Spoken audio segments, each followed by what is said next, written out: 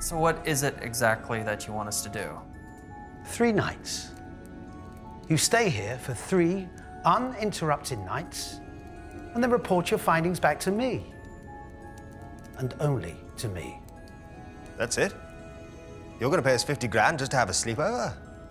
We will, of course, be contacting the local press to make people aware of what we are doing.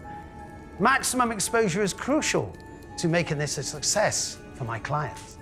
And what if we find something? Let me make this clear.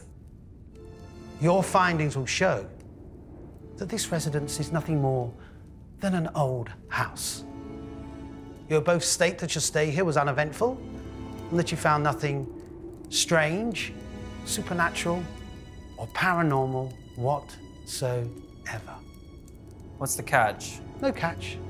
Just look at it as a paid holiday for you both. And if we refuse? Oh, of course we'll take the job. When do we start? You started already. Everything's been arranged to accommodate your stay. No offense, but conning people isn't exactly what I get paid to do.